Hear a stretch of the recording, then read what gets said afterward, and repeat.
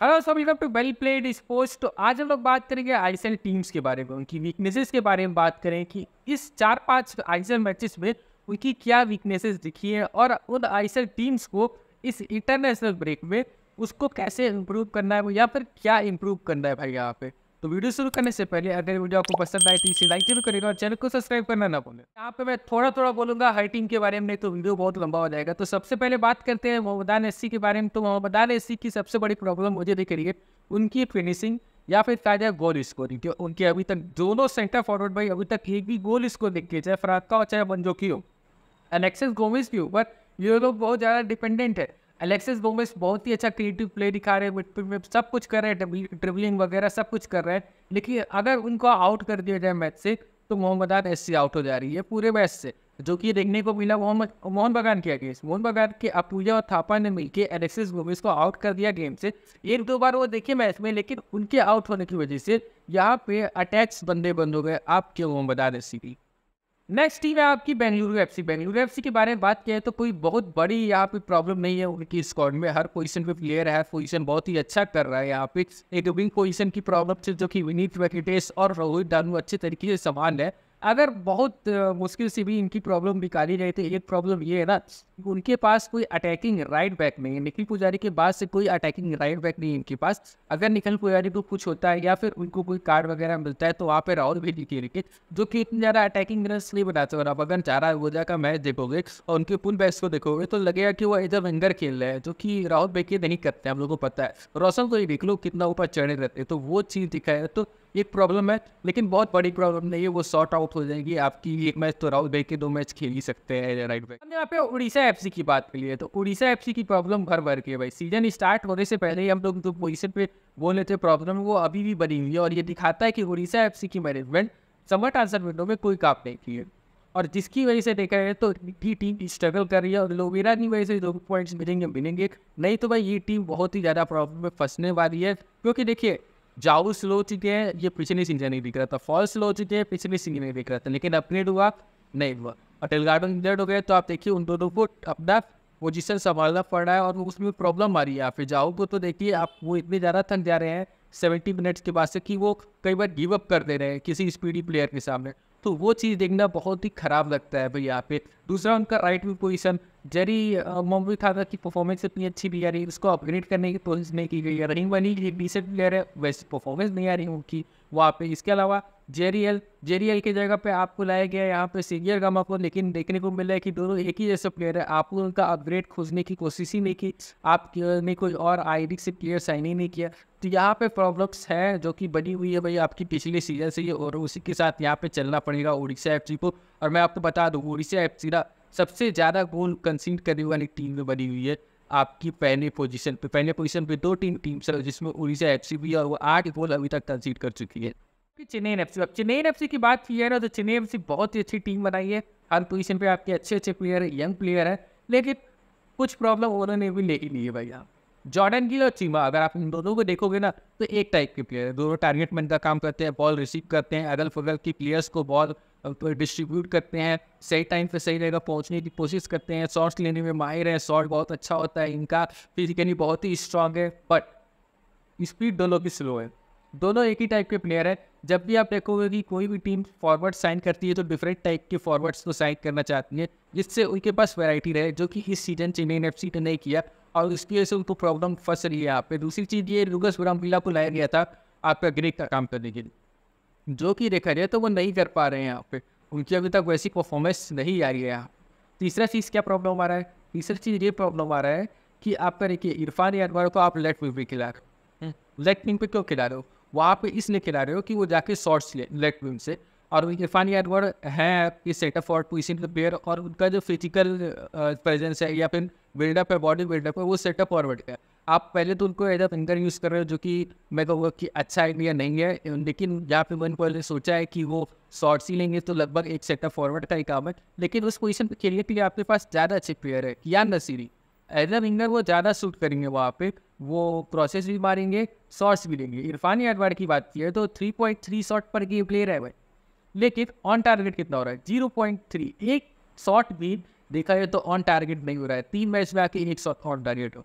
तो ऐसी परफॉर्मेंस होगी तो कैसे चलेगा वो? वो देखा जाए तो टैक्टिस पूरी तरीके से फील हो रहा है ओवन पॉइल इसी में आपकी Punjab F C Punjab F C का देखिए आप पे भाई, यहाँ पे तो कोई प्रॉब्लम ही नहीं दिख रही है। लेकिन है भाई प्रॉब्लम है इनके पास भी। प्रॉब्लम ये है ना कि सेंटर फॉरवर्ड पोजीशन पे देखिएगा तो लुका मैगजिन इंजर्ड हुए हैं और उनके पोजीशन पे कौन है बकेगा हाँ और उनको गोल स्कोर करना चाहिए, लेकिन वो गोल स्कोरिंग नहीं कर पा रहे हैं। तो वहाँ पर प्रॉब्लम आ रही है।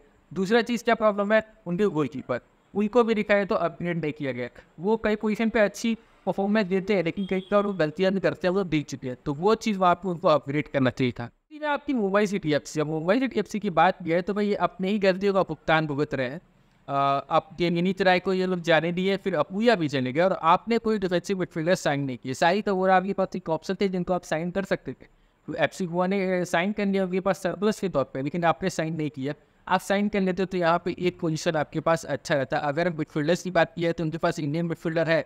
आप जयेश राणे को एज डिफेंसिव मिडफील्डर खिला दो, हितेश को खिला दो, लेकिन वो ऐसी परफॉर्मेंस नहीं दे पाएँगे जो डिफेंसिव मिडफील्डर पोजीशन के प्लेयर से आप एक्सपेक्ट करते हो।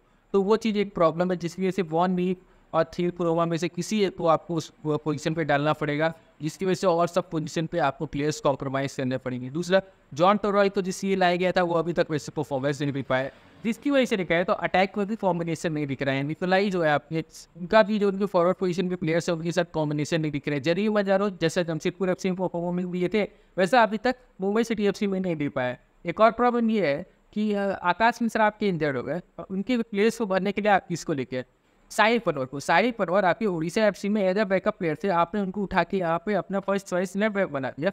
जिसका भुगतान आपको भुगतना पड़ा, जमशेदपुर एफ़ सी के अगेंस्ट सारे जमशेदपुर एफ़ सी बार बार वही पोजीशन टारगेट कर रही थी वहाँ पे। नितिन नाथन रॉड्रिगेस एक मैच के लिए बहुत अच्छी परफॉर्मेंस किया मानता हूँ। लेकिन क्या वो पूरे सीज़न दे पाएँगे? ये भी देखने वाली बात होगी भाई। तो नहीं तो भाई वो पोजीशन वहाँ पे वीकनेस बनी हुई है। आपकी केरला ब्लास्टर एफ़ सी अब केरला ब्लास्टर एफ़ सी की बात की जाए ना तो अभी आपकी देखा है तो उतने प्रॉब्लम्स नहीं दिख रहे होंगे। लेकिन अभी तो उनकी प्रॉब्लम्स की शुरुआत हुई। अब प्रॉब्लम की शुरुआत कैसे हुई? देखिए, अभी क्या है कि मिडफील्ड में वो पोपे को खिला नहीं रहे हैं, जिसकी वजह से विपिन मोहनान वहाँ पे आराम से खेल पा रहे हैं नीले आपके डानिस एज अटैकिंग मिडफील्डर खेल दे रहे हैं और नोवा एज अ विंगर खेल दे रहे हैं और जेसूस या फिर पेपरा आपके सेंटर फॉरवर्ड खेल सकते हैं। लेकिन प्रॉब्लम ये हुआ है कि लूना आप फिट हो चुके हैं। लूना आपकी मेन प्लेयर है। माइंड है आपके पूरे ब्रेन है एक तरीके से कहा जाए पूरी टीम का, आप उनको बाहर तो रख नहीं सकते हो। आप उनको लाओगे किसकी जगह। आप एक ही पोजिशन बनता है पोफे के प्लेस पे लेके आओ। अब पोफे के प्लेस पे लेके आओगे तो आपको हटाना पड़ेगा आपके फॉरन डिफेंसिव मिडफील्डर और वहाँ पे फ्रेडी को लाना पड़ेगा। फ्रेडी की परफॉर्मेंस अभी तक उतनी अच्छी रही नहीं है। आ तो विद इन वन आर्थ के ऊपर ज़्यादा अभी रिस्पॉन्सिबिलिटी आ जाएगी उनकी भी परफॉर्मेंस डाउन हो जाएगी, जब उनके साथ सपोर्टर अच्छा नहीं मिलेगा तो। दानिश वहाँ खेल सकते लेकिन उनकी परफॉर्मेंस उतनी अच्छी नहीं रही है यहाँ पे। तो प्रॉब्लम्स यहाँ पे देखा है तो फ़सल है यहाँ पे केला ब्लास्टर की, उन्होंने एक डिफेंसिव मिडफील्डर साइन नहीं किया जब डिक्सन गए तो और उसकी वजह से वहाँ पे प्रॉब्लम फंसेंगी क्योंकि आप नोवा को आउट नहीं कर सकते हो हेसिस को आउट नहीं कर सकते हो। दूसरा, राहुल के पी की परफॉर्मेंस वैसी भी आई है, जितना हम लोग चाहते हैं उस विंग से आए तो उस विंग पे आपको किसी और इंगर को भी ट्राई करना चाहिए, मैं तो कहूँगा, और देखते हैं क्या करती है केला ब्लास्टर नेक्स्ट टीम है आपकी किस बंगाल और किस बंगाल का मैं सीज़न से पहले ही बोल दिया था कि हेक्टर और सिल्वा की साइनिंग आपको नहीं करनी चाहिए थी। सिल्वा का इंटू इमोशन इमोशनल एक तरीके से डिसीज़न हो गया और हेक्टर का मैं पता नहीं कौन सा डिसीज़न था। हेक्टर बहुत अच्छे प्लेयर हैं, अच्छी परफॉर्मेंस दे रहे हैं, लेकिन जब भी स्पीडी प्लेयर के सामने आते हैं वो तो वो भी गिव अप कर देते हैं, उनसे भी गलतियाँ होने लगती है। तो हेक्टर का यही चीज़ प्रॉब्लम है, बहुत ही अच्छी पोजिशनिंग करते हैं एक्सपीरियंस उनके पास बट प्रॉब्लम यही आती है, जब स्पीडी प्लेयर आता है तो वो प्रॉब्लम में आते हैं। और जिसका भुगतान भुगतना पड़ा है, पहले ये मुगल की जो डिफेंस लाइन है, वो सेकी है, और वहाँ पर भी आप एक सॉलिड प्लेयर नहीं लेके आओगे तो वो और सेकी बनेगी। दूसरा चीज़ है जिक्सर से अभी तक उसकी अच्छी परफॉर्मेंस नहीं आई है उनकी तीसरा चीज़ है, आपका देखिए डिमिटी डायमंड पॉस इंजर्ड हो गए तो सिल्वा को खिलाया गया। सिल्वा कैसी परफॉर्मेंस दी है, मुझे बताने की ज़रूरत नहीं है। बहुत ज़्यादा मिसेस कर रहे थे तो वहाँ पे प्रॉब्लम आ रही है। दूसरा मदी तलाल डेमेटिकॉस और आपके नॉरम वेस नंदा ये सभी के बीच कॉम्बिनेशन नहीं बना है यहाँ पे। मुझे देखने को मिला कई मैचेस में कि डेमेटिकॉस को क्रॉस चाहिए तो कटबैक हो जा रहा है बॉल और कटबैक के लिए खड़े हो रहे हैं तो क्रॉस हो जा रहा है। तो यहाँ पे कॉम्बिनेशन अभी तक नहीं मिला। है फुल बैक पोजिशन पे देखें तो क्यू फैक्टर है। क्यू फैक्टर होता है मतलब कि आपका क्वांटिटी है क्वालिटी नहीं है यहाँ पे फुल बैक पोजिशन पे। अनवर अनिल अगर बैन लगता है उनको तो उनका बैकअप नहीं है। तो प्रॉब्लम बहुत फंसी हुई है। नए कोच आ गए अब उनको सॉल्व करना है भाई प्रॉब्लम को। जमशेदपुर एफसी की बात की है तो भाई जमशेदपुर एफसी में कहूँगा एक ऐसी टीम है ना जो खाली जमी हुई से ही चल रही है वो जो प्लेयर्स है ना, उनसे हंड्रेड परसेंट से ज़्यादा निकलवा रहे क्योंकि वो ऐसे प्लेयर है जो कई टीमों से रिजेक्ट हो चुके हैं और उनको कोई टीम साइन नहीं करी थी जमशेदपुर एफ़ साइन कर लिया कई प्लेयर्स ऐसे हैं। सीज़न से पहले हम लोग यही बात कर रहे थे कि जमशेदपुर एफ़ सी ऐसी साइनिंग्स की अब यहाँ पे अगर देखा है अभी तो आशुतोष मेहता चलिए संभाल रहे हैं, देखिए दो साल की डोपिंग का झेल के आने के बाद से भी वो राइट बैक संभाल ले रहे हैं, लेकिन उनके बाद कौन है? शुभम सारंगी, जो कि एक और प्लेयर है। जो कि दो तीन साल से देखा जाए तो अच्छी परफॉर्मेंस नहीं दे रहे हैं, दूसरा इंजर्ड रह रहे हैं, ज़्यादा गेम टाइम नहीं मिल, ना के बराबर गेम टाइम मिल। उसके अलावा ओएस के बैकअप के तौर पे आपके पास एक सेंटर बैक है जो कि वो इराक है। तो वहाँ पर भी एक प्रॉब्लम है वेस्ट तो अगर कुछ सस्पेंशन वगैरह कुछ होता है तो वहाँ पर नहीं है। और भी क्या प्रॉब्लम है आपका? प्रॉब्लम है डिफेंसिव मिडफील्ड का। सौरभ दास है, उनके अलावा देखा जाए तो प्रोना हलदार है, जो अभी तक हम लोग को मैच में दिखे नहीं है। खाली जब कह रहे हैं फिट हो गए लेकिन अभी तक मैच में दिखे नहीं है। मोबा सीर है तो देखा जाए तो यहाँ पे इंडियन प्लेयर को आपको रखना चाहिए था। आपके पास जीतू थे। आपने जीतू को जाने दिया। चेन्नई एफ़ सी में जाके वो बैठे हुए हैं चुपचाप। तो ये चीज़ देखा जाए तो जमशेदपुर एफ़ सी की बहुत ख़राब बात है कि अपने यंग प्लेयर्स को जाने दे रही है। तो ये सभी प्रॉब्लम्स है भाई। और देखा जाए तो जब तक जो प्लेयर्स है ना अपना हंड्रेड परसेंट दे रहे हैं जब तक मोटिवेटेड है तब तक तो अच्छा चल रहा है। लेकिन किसी एक दो प्लेयर की भी परफॉर्मेंस डाउन हुई या फिर इंजर्ड हुई या फिर सीरिया से बाहर हुए ना तो ताश के पत्तों की तरह जमशेदपुर एफ़ गिरे। सीरीज़ बात है भाई, क्योंकि वैसी साइनिंग्स नहीं हुई है भाई। और जब तक चल रहा है अच्छा है, जितना खींच ले खा खा लीजिए भाई, बहुत ही अच्छी बात रहेगी जमशेदपुर एफ़ के लिए। मैं पर्सनली चाहता हूँ जमशेदपुर एफ़ जैसी टीम हमेशा परफॉर्मेंस दे नेक्स्ट टीम है आपकी F C Goa. F C Goa के बारे में बात करें तो देखिए एफ़ सी गोवा बहुत ही सॉलिड टीम लग रही थी, लेकिन इंजरीज की वजह से फंसी हुई है। पहले तो संदेश जिंगन की इंजरी हुई, उनके बैकअप के तौर पर नीम नोटी बहुत ही अच्छे सेंटर बैक थे, लेकिन वैसे वो परफॉर्मेंस नहीं दे पा रहे। अजय गुप्ता एक प्लेयर है जो कि इस सीज़न परफॉर्मेंस नहीं दे पा रहे हैं आपकी। उसके अलावा ओडाई होना इंडिया है जो कि उनके मेन सेंटर बैक थे। उनकी स्पीड स्लो हो गई है, उनकी एज की वजह से, जो कि एफ़ सी वो ट्रैक नहीं कर पाई। हो सकता है अगर ट्रैक कर देती तो उनको सीज़न से पहले रिप्लेस कर लेती।